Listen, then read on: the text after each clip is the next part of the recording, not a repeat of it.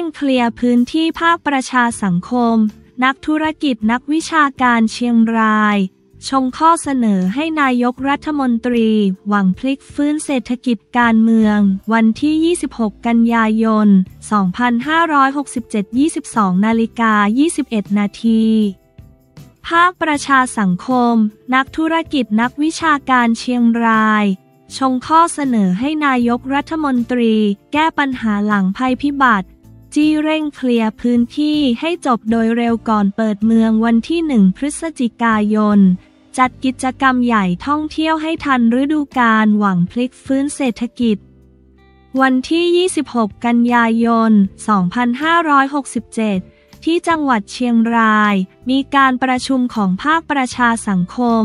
ภาคธุรกิจ และภาควิชาการเพื่อหารือถึงสถานการณ์การแก้ปัญหาภัยพิบัติน้ำท่วมเชียงราย มีนายภาคภูมิ ผลพิสิทธิ์ ประธานหอการค้าเชียงราย นางเตือนใจดีเทศ กรรมการที่ปรึกษามูลนิธิพัฒนาชุมชน และเขตภูเขาพอชอพอร่วมเป็นประธาน มีผู้เข้าร่วมประมาณ 30 คน อาทิ กลุ่มผู้ประกอบการรุ่นใหม่ YEC หอการค้าจังหวัดเชียงราย สภาอุตสาหกรรมจังหวัดเชียงราย สมาคมสหพันธ์ท่องเที่ยวภาคเหนือ จังหวัดเชียงราย องค์กรภาคประชาสังคม นักวิชาการและสื่อมวลชนนางเตือนใจกล่าวว่า การหารือแลกเปลี่ยนครั้งนี้ เพื่อระดมความรู้ในสถานการณ์ และสภาพปัญหาภัยพิบัติเหตุการณ์น้ำกบไหลท่วมเมืองเชียงราย เป็นทะเลโคลน และแนวทางการแก้ปัญหาที่อยากเห็นร่วมกัน โดยก่อนหน้านี้ได้มีการจัดวงแลกเปลี่ยนในลักษณะนี้มาแล้วหนึ่งครั้ง และยังจะจัดต่อไปอีกซึ่งจะจัดทำข้อเสนอเบื้องต้นให้แก่นางสาวแพทองทาน ชินวัตร นายกรัฐมนตรี ซึ่งจะมาลงพื้นที่ ว่าควรมีหลักการที่ชัดเจนว่าจะแก้ไขและการฟื้นฟูอย่างเป็นระบบได้อย่างไร จากการหารือกับชุมชน และองค์กรประชาสังคม เราพบว่าปัญหาหลักๆ คือไม่มีความรู้หรือข้อมูลต้นน้ำกบน้ำสาย ไม่มีข้อมูลอุทกวิทยามวลน้ำอยู่เท่าไหร่ จะเดินทางมาถึงท่าตอนเมื่อไหร่ ระบบเตือนภัยอ่อนแอ ประชาชนรู้การเตือนภัยจากโซเชียล มีเดียแผนจัดการน้ำท่วม อาจจะมีแต่ไม่ได้นำมาใช้อย่างมีประสิทธิภาพ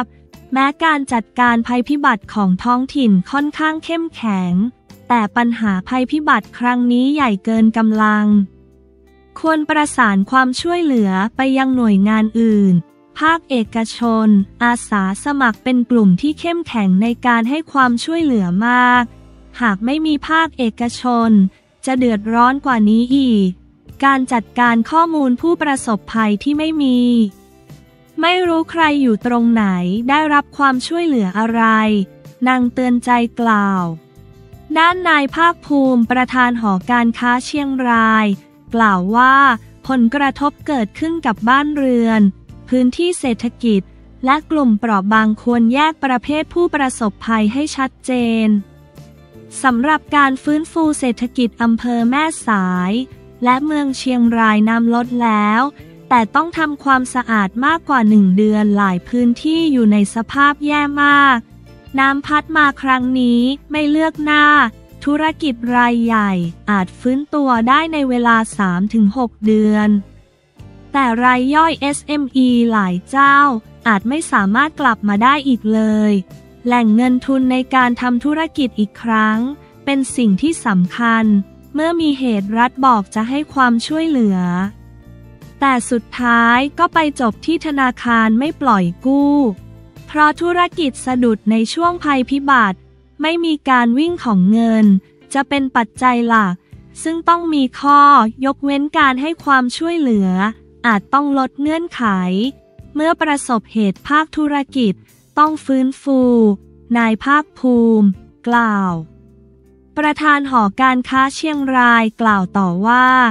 รัฐช่วยได้เรื่องภาษี เช่น ลดหย่อยภาษีโรงเรือน ซึ่งคิดตามพื้นที่ที่ทำธุรกิจ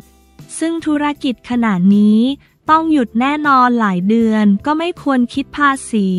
สุดท้ายคือด้านแรงงาน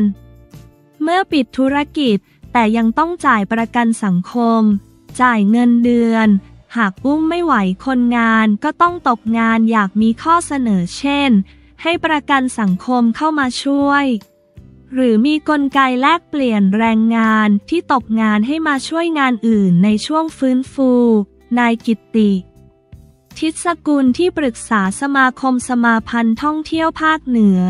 กล่าวว่าการบริหารจัดการยังไม่เป็นระบบ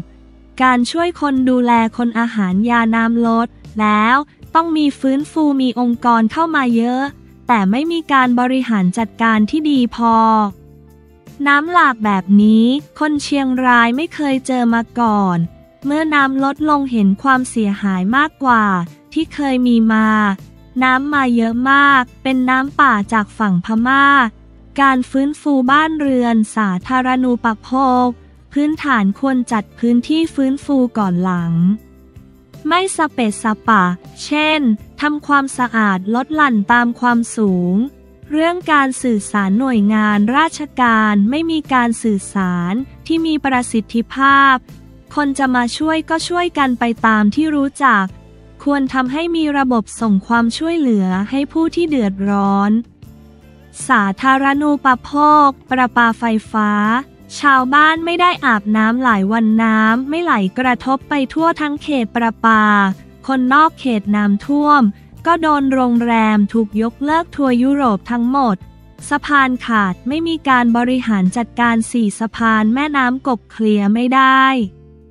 คนตกเครื่องเลเทคความเชื่อมั่นในการฟื้นเศรษฐกิจ ต้องมีไทม์ไลน์หน่วยงานราชการสามารถประเมินได้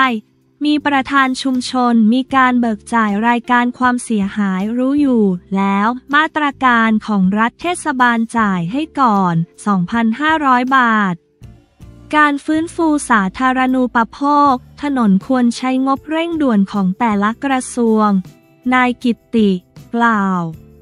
นายกิตติกล่าวด้วยว่า เราวางไทม์ไลน์ว่า วันที่หนึ่งพฤศจิกายน เปิดเชียงราย การฟื้นฟูทุกอย่างต้องเสร็จให้เปิดการท่องเที่ยวเชียงราย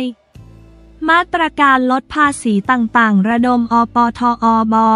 ต่อศึกษาดูงานพื้นที่เพื่อให้มีการกระตุ้นเศรษฐกิจ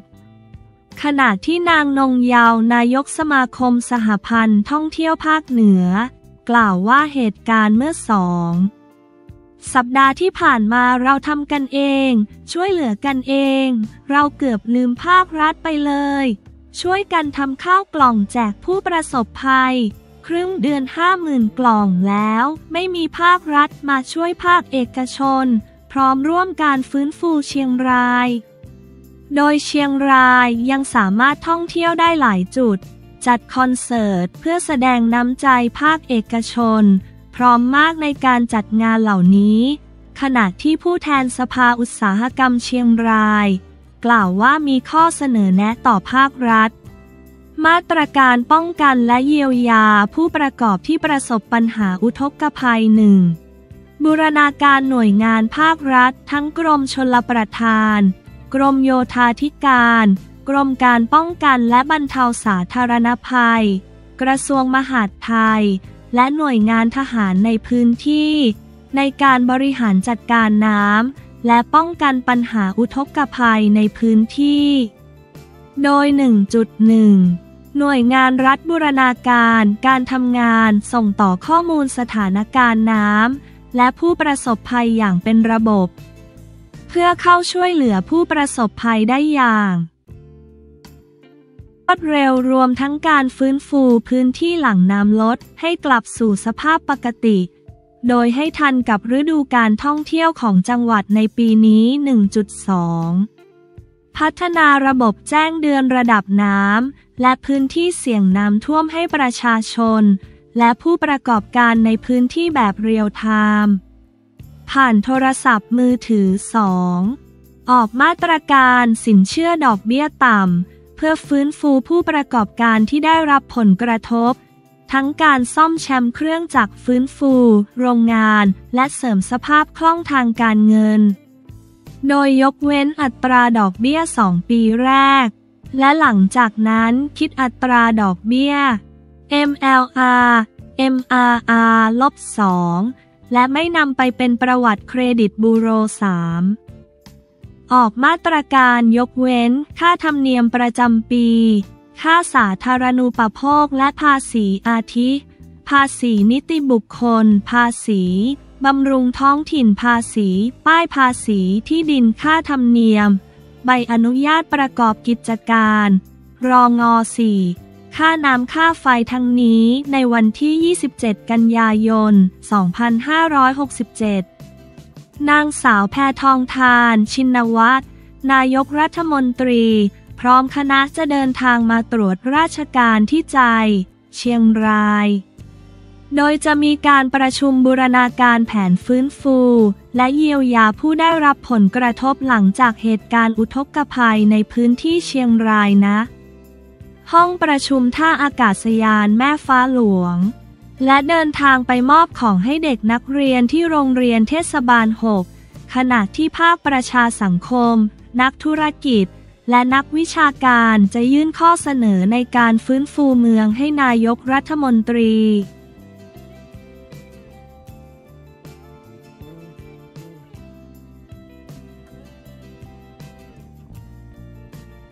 ชีวิตสุดปังออมกรณพัฒดัง ตั้งตัวไม่ทันขอบคุณแฟนคลับที่ให้ความรักขนาดนี้ บันเทิงวันที่ 27 กันยายน 2567 11นาฬิกา 7 นาที ชีวิตสุดปัง ออมกรณพัฒดัง ตั้งตัวไม่ทันขอบคุณแฟนคลับ ไม่คิดว่ามีความรักแบบนี้ เตรียมส่งความฟินต่อเนื่อง ประกบคู่ หลิงหลิงซีรีส์แอคชั่นโรแมนติก เพียงเธอ ดังเปรี้ยงชีวิตเปลี่ยนอย่างรวดเร็วสำหรับคู่จิ้นสุดฮอตหลิงหลิงคองและ ออมกรณพัฒน์เศรษฐรัตนพงศ์สองนักแสดงสาวจากซีรีส์ sapphic ใจซ่อนรัก ทางช่องสามซึ่งกระแสความฮอตของทั้งคู่ ก็ทำให้เกิดด้อมแฟนคลับที่ใหญ่ขึ้นเรื่อยทั่วเอเชีย เดินสายไปจัด fan meet พบปะทั้งแฟนไทย และแฟนอินเตอร์ แถมกำลังจะมีซีรีส์เรื่องใหม่แนวแอคชั่นโรแมนติก เพียงเธอ ล่าสุดออมมาร่วมงานประกาศรางวัลมายาทีวีอวอร์ด 2024เธอได้เปิดใจถึงกระแสความดังที่เกิดขึ้นอย่างไม่ทันตั้งตัว ชีวิตก็ปังขึ้นเรื่อย ๆ เลย ตอนนี้ก็ทำงานค่ะ ช่วงนี้ก็ต้องแบ่งเวลาให้ถูกระหว่างเรียนกับงาน เพราะว่าตอนนี้หนูต่อโทก็เลยต้องแบ่งเวลาให้มันดีๆ จะได้มีเวลานอนเยอะๆ ทุกอย่างมาเร็วไหมสำหรับเรา เร็วค่ะ เหมือนมันไม่ทันตั้งตัว แล้วก็ไม่ได้คิดว่ามันจะมาไกลถึงขนาดนี้ ความรู้สึกเป็นยังไงบ้าง ที่ได้การรับกำลังใจจากแฟนๆเยอะขนาดนี้ คือเหมือนคนที่เขาเป็นแฟนคลับ คือเขาให้กำลังใจ เขาอยู่ support เราในทุกเรื่องจริง ๆ หนูอะไม่คิดว่า จะมีคิดว่ามันจะมีความรักแบบนี้ เพราะส่วนตัวเราเองเราก็ไม่เคยเจอเหมือนกัน เขาพร้อมที่จะ support เราทุกเรื่อง คือน่ารักไม่รู้ว่าจะขอบคุณยังไง ขอบคุณนะคะ ไม่ใช่แค่ในไทยต่างประเทศก็คือปัง มาร์กก็จะมี meeting ต่างประเทศเรื่อยๆ ช่วงนี้ ล่าสุดไปมาเก๊ามาก็แฟนคลับเยอะมาก 2,000 คน เราก็มีโชว์พิเศษให้เขาค่ะ ตอนแรกเลยที่ออมไปต่างประเทศครั้งแรกคือฮ่องกงแล้วคิดว่ามันจะมีเรื่องของกำแพงภาษาหรือเปล่า แต่จริงๆ อะ มันไม่มีเลย ทุกคนให้การต้อนรับเหมือนอยู่ไทยเลย คือหนูพูดได้ไม่กี่คำแต่ว่าเขาก็ดีใจที่เราพูดแค่เราพยายามเขาก็ดีใจแล้ว คือหนูก็กำลังเรียนภาษาจีนอยู่ แล้วก็ถามหนิงหนิงบ้าง ถามคุณครูที่เคยเรียนภาษาจีนด้วยกันบ้าง แล้วก็ค่อยๆฝึกไปค่ะ มีเวลาก็เรียน โมเมนต์คู่ เราก็เสิร์ฟแน่นเหมือนกัน ใช่ค่ะ คือเขาบอกว่าเฮี้ยนมาก หัวเรอก คือไม่รู้สิ ด้วยความที่เราอยู่ต่างประเทศด้วยกัน มันก็เลยมีภาพโมเมนต์น่ารักรักให้ได้ติดตามเยอะ หลิงดูแลเราดีไหม ดีตลอดอยู่แล้ว ไม่ว่าจะอยู่ไทยอยู่ต่างประเทศ เขาดูแลเราดีค่ะ ทั้งสองยังมีโมเมนต์เขินกันอยู่ไหม ไม่เขินค่ะ ทุกอย่างเกิดขึ้นตามธรรมชาติสำหรับเราเรียกว่าเคมีอะไร เขาก็เป็นเพื่อนร่วมงานของเราที่เราไว้ใจมากๆ เหมือนเจอกันทุกวัน มันก็สนิทกันไปเอง โดยแทบไม่ต้องพูดอะไรกัน มันก็เข้าใจกันแล้ว